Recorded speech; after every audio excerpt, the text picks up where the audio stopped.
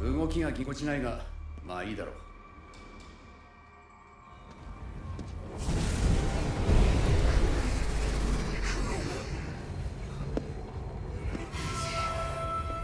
なんだよこれ。あっ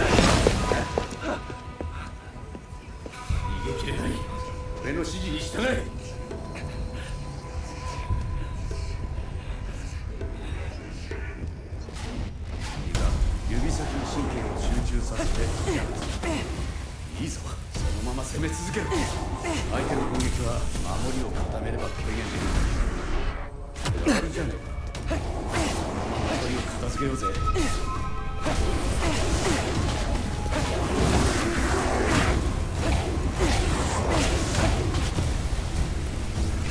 この力俺がいなければあいつらにやられていたってことだ。さっさとお前の用事を済ませようぜ。そうだ。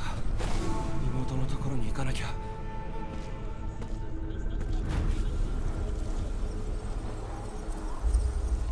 妹に会いに行く途中で事故ったのか？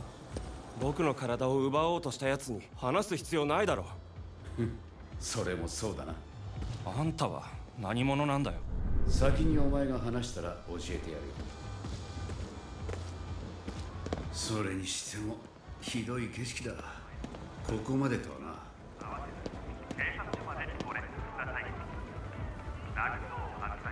これが本当に渋谷なのか？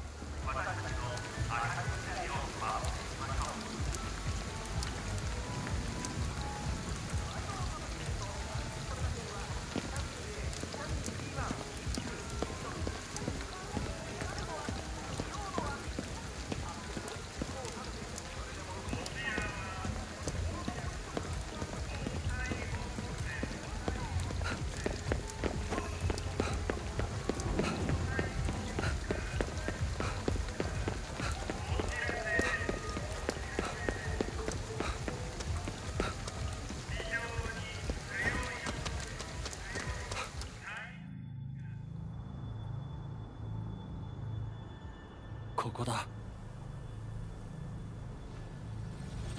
なんだ？これ。向こうの世界の物体がこちらに干渉している。ものは試しだ。触れてみろ。